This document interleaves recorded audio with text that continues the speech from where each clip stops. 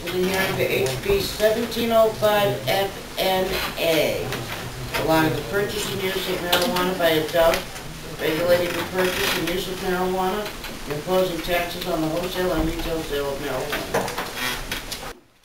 Thank you, Mr. Chairman.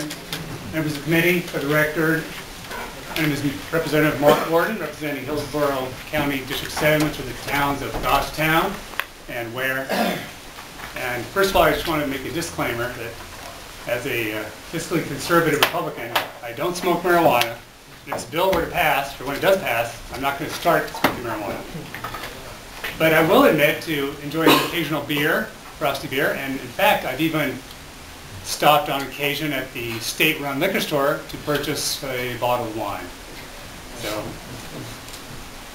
I'm here really in the interest of taxpayers and for the humanity of the criminal justice system more than anything. And I'm understanding that uh, from a fiscal sense, the cost to society and to taxpayers of the revolving door of the criminal justice system with these uh, sort of nonviolent crimes is one that we should do as a legislature. We should work towards improving.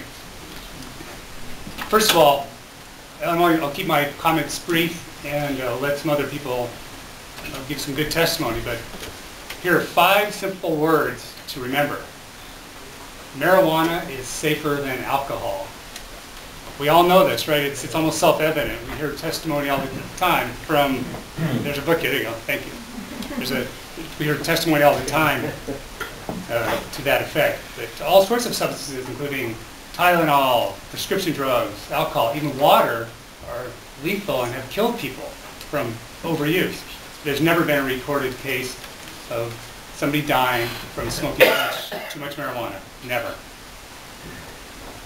Um, although liquor is far more dangerous, the state treats treats alcohol as if, we're, as if it were safer than marijuana, right? Which encourages more people to drink.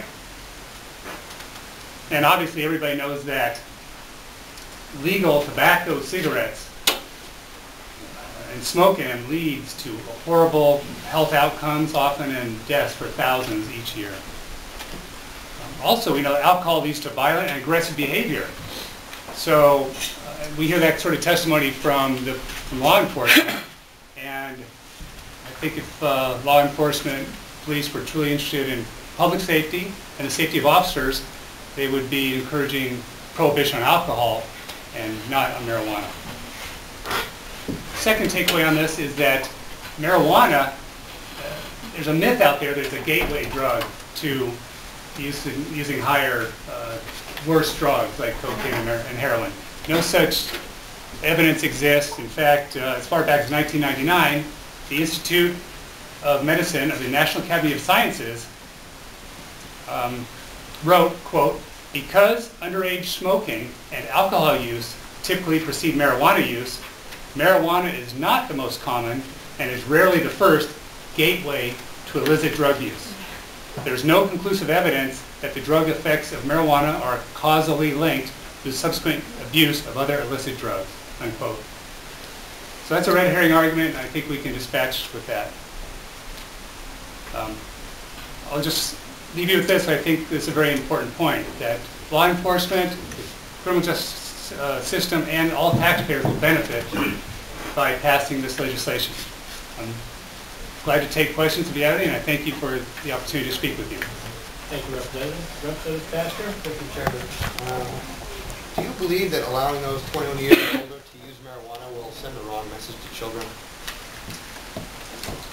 Thank you for the question, Representative. I'm not sure what the wrong message to send is. If you're saying that it puts it on, uh, it lets people think that it's as safe or as dangerous as alcohol and tobacco, yeah, maybe that is the wrong message. But I think for many people, marijuana is far safer than alcohol use.